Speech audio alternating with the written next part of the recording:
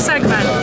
Nour Sagman. Oui. Alors, madame, vous avez assisté à la célébration Oui. de la fête nationale de la Guinée. Oui. Et c'est un honneur pour moi.